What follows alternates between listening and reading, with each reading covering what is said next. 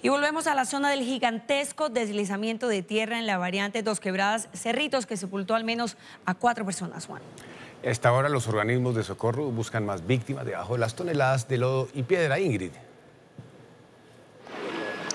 Andrea Juan Eduardo, mire, las autoridades tienen la certeza de que bajo todo este lodo, bajo todos los escombros que ustedes ven al fondo, habría más víctimas. Ustedes alcanzan a ver en su eh, pantalla una motocicleta y es una de las señales precisamente de que sí habría más personas atrapadas porque no han encontrado al propietario eh, o a la persona que aparentemente iría manejando esa moto. Incluso hasta aquí, hasta este lugar, ya empiezan a llegar todos los organismos de socorro, todos los socorristas, eh, quienes se van a encargar de esa búsqueda Primero van a hacer una evaluación del terreno, van a determinar si después de la lluvia que cayó durante casi toda la noche hasta esta madrugada, eh, pues se puede seguir trabajando, se puede eh, hacer la búsqueda. Y también llegan ya los binomios, son los expertos de la policía, expertos del CTI y otros grupos de búsqueda para precisamente buscar entre los escombros a las personas, poder hacer el rastreo para determinar eh, si hay o no personas. Allí rápidamente le pregunto a la patrullera Ana González,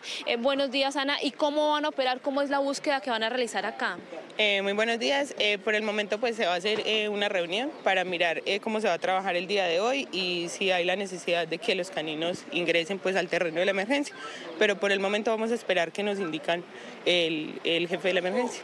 Muchísimas gracias. Mire, y es que aparte de las cuatro víctimas mortales que ya fueron encontradas, identificadas, también hay sobrevivientes, tres personas. Uno de ellos nos contó su tragedia y su historia, su victoria. La tragedia de él es haber, no haber podido ayudar a otras personas, pero su victoria fue haber sobrevivido a la avalancha. Vea, está cayendo más tierra, Señor Jesús, qué pecado esa gente que está allá metida.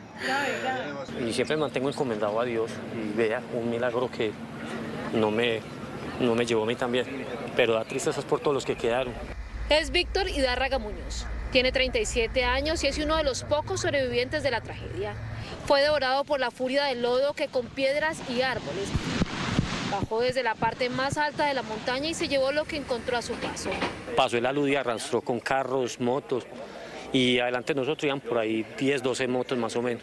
Una pequeña lesión en su pierna izquierda es la única señal de la tragedia en su cuerpo, pero su moto es evidencia del milagro. Gracias a Dios que incrustado dentro del derrumbe, pero me, arrasó, me tiró hacia un lado, entonces no me alcanzó a enterrar.